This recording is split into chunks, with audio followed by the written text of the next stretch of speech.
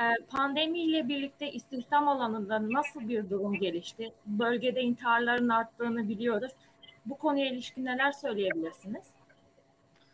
Yani e, pandemi bütün dünyada ve Türkiye'de e, iş yerlerinin uzun süre kapalı kalmasına, dolayısıyla üretim e, alanlarının e, kapalı olmasına yol açtı. İnsanlar işlerine gidemediler. Bu da e, bir kısır döngüye yol açtı aslında.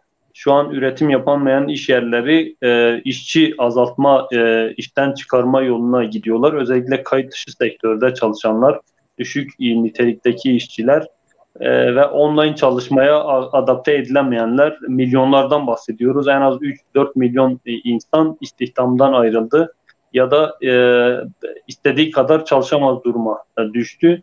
Bu da gelir kaybına, yoksulluk kaybına, faturaların ödenememesine, borçların ödenememesine yol açtı. Yani e, çok uzun bir süre tabii ki bu bir iş yerinin bir ay kapalı olması bile e, çok büyük krizlere yol açarken o mikro anlamda e, burada bütünlüklü bir, birbiriyle bağlantılı birçok sektörden ödeme zincirinde kırılma, üretim zincirinde kırılma, istihdam zincirinde bir kırılma yaşanıyor aslında. E, bu da e, kişilere e, artık e, yansıyacak boyutlara ulaştı. Milyonlarca insan e, iş, ekmek derdinde şu anda. Yani e, bu e, gelir kaybının da e, tabii ki sosyopsikolojik sonuçları da var. İntihar meselesi maalesef e, çok can yakıcı boyutlara ulaştı. Bu son bir haftada yaşanan Antakya, Mersin, İzmir e, ve Diyarbakır vakası çok gündem oldu ama e, zaten e, e, bunlar kamuoyuna çok yansımadan e, genelde tekil vakalar olduğunda kamuoyuna yansımıyor. Fakat totalde yüzlerle hatta binlere yaklaşan bir sayıdan bahsediliyor.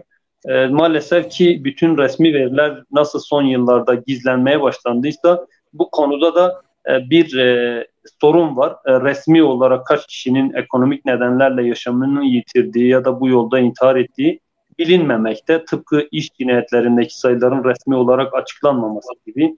Tıpkı kayıt dışı istihdamın tam olarak ne ne boyutlarda olduğunu bilmediğimiz gibi. Burada TÜİK'e ve e, e, Çalışma Bakanlığı'na yeni adıyla Çalışma ve Sosyal Güvenlik Bakanlığı'na aslında çok can yakıcı acil çözümler bulmaları yönünde bir çağrı yapılması gerekiyor. E, burada bu kurumların e, özellikle e, derin yoksulluk içerisinde olan e, hanelere çok hızlı bir şekilde ulaşıp bu faturadır, e, borçların çevrimidir, temel gıda ve diğer desteklerin sunulmasıdır. Çok hızlı bir şekilde yapılması gerekiyor ama Türkiye'de maalesef esnaf, çiftçi, işçi, işsiz dediğimiz kesime çok e, bir ödeme yapılmıyor. Yani bir destek yapılmıyor diyebiliriz yani. Yapılan destekler devede kulak bile değil. Diğer ülkelere baktığımızda piyas yapabilecek bir e, miktar olmadığını söyleyebiliriz. Yani bu da çok hızlı bir şekilde bir toplumun desteklenmesi gerekiyor diyebilirim.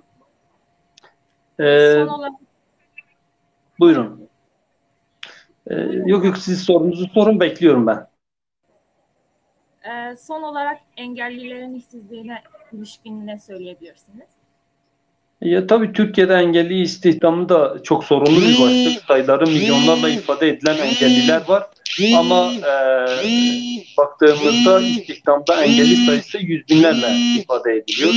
Bu e, bu da e, 10 milyon engellinin sadece 100 bini istihdamda. Bu e, 100 binin de e, maalesef korona döneminde 30 bini işini kaybetti. Şimdi 30 bin kişi işini kaybedince e, bunların nereye gittiğini, nasıl yaşadığını, hangi koşullarda yaşadığını bilmiyoruz. E, dolayısıyla engellilik alanına özel bir müdahale yapılması gerekiyor. Zaten Türkiye'de 2019 yılı sonu itibariyle 130 bine yakın, 126 bin engelli istihdamdaydı özel sektörde. Şimdi resmi verilere baktığımızda bu sayının 92 bine düştüğünü görüyoruz. Dolayısıyla %25, e, %30 bandında bir engelli istihdamında kayıp yaşandığı bir durum söz konusu. Bu da e, acil müdahale edilmesi gereken bir alan. Engelliler e, yoksulluk kısır döngüsü içerisinde yaşayan büyük bir kitle. Onları özel politikalarla desteklenmesi gerekiyor diyebilirim.